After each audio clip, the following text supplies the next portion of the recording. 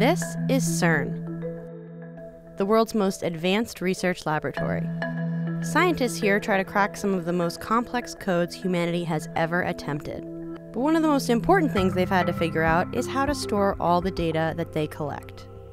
It's actually a really complicated task, and the solution isn't what you'd expect. It's tape. Tape. Basically the same tape that filled our homes in the 80s and 90s in the form of cassettes and VHS. It turns out, tape is having a comeback, and it might be the solution to keeping the most important data on Earth safe. I'm Kaylee Hope, this is Quartz. Please subscribe to our channel. The main reason CERN is one of the world's most respected centers for scientific research is because of this the Large Hadron Collider. It's the biggest and most complex machine ever built. Researchers here are studying what happens when protons collide to better understand the nature of the universe. It is designed to make as many measurements as possible of the proton-proton collision. Patty McBride is a scientist at CERN. She works on one of the experiments within the Large Hadron Collider project. When a collision happens, we collect about a gigabyte per second. One gigabyte of information per second. They collect about 20 million gigabytes each year. It's a mind blowingly large amount of data that needs to be archived somewhere. I know there were many times when people thought about, well, we should just get rid of tapes, it's old fashioned, that we can do this all with disk. But in fact, tape has become a reliable and economic way of storing all the data. CERN has decided to store all this information on tapes because they're a cheaper and safer alternative to the hard disks that we all use to store stuff.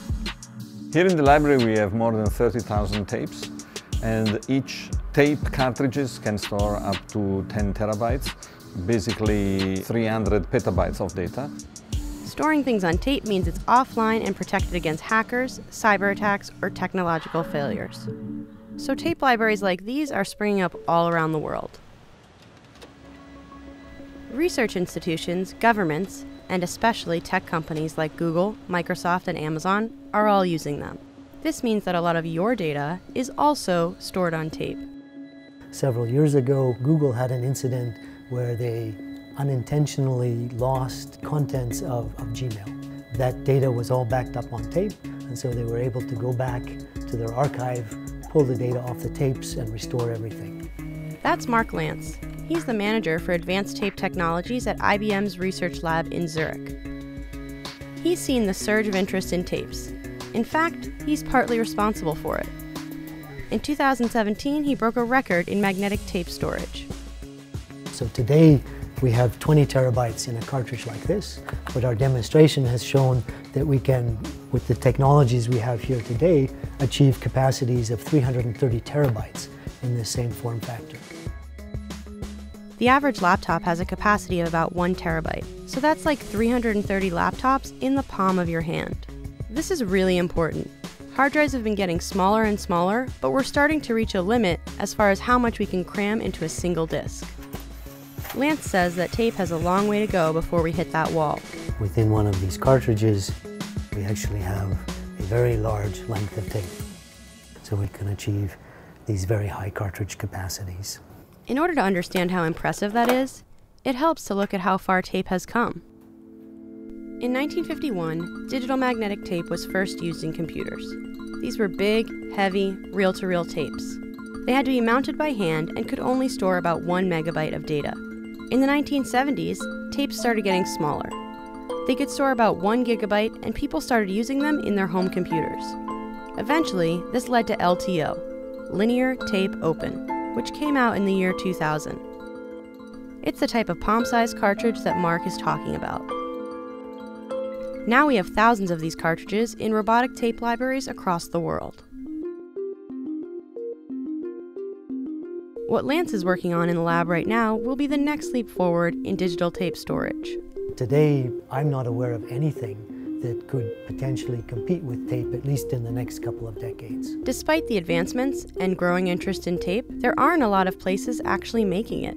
In fact, there's only two Fujifilm and Sony, and since 2017, they've been in a grueling patent war that has halted the production of the latest tape cartridges. Both companies declined to comment for this story.